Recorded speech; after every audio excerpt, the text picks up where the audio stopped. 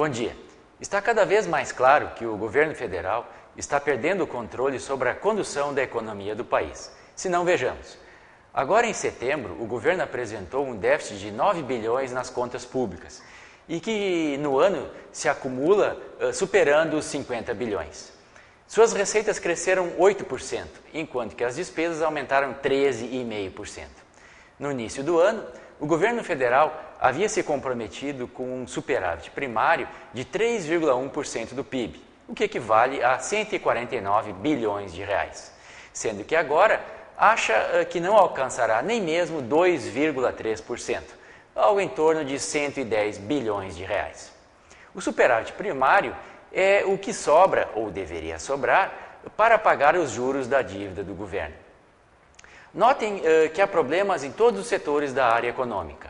O dólar tem se valorizado, a inflação se mantém alta, importamos mais que exportamos, os investimentos públicos e privados são insuficientes, os projetos, leia-se PAC, do governo não avançam, a Petrobras está em dificuldades, os juros estão aumentando.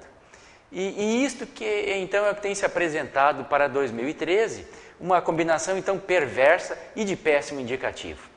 E que provavelmente se repetirá em 2014, pois em ano de eleição a tendência é até de piora, pois só se corrigem esses desvios com medidas impopulares, o que é eh, impossível de acontecer em ano de eleição. Então, 2014 provavelmente já está também comprometido, ficando tudo para 2015, ano do acerto de contas. Quem viver, verá. Tenham todos uma boa semana.